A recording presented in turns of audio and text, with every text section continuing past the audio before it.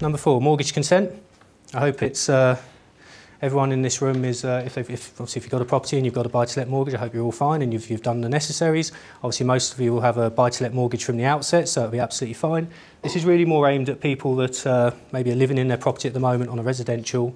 Just to remind, always got to get consent to let, just to make sure that we don't get called out further down the line and uh, obviously want to prevent an ugly situation for both landlord and tenant. Okay, um, so you must obtain consent. Um, not all lenders will, uh, will, will, let you, will let you do it on a residential. It depends on who you're with. Some of them might charge an admin fee. Some of them, most of them will specify you've got to at least have lived there for six months before you can obtain consent to let.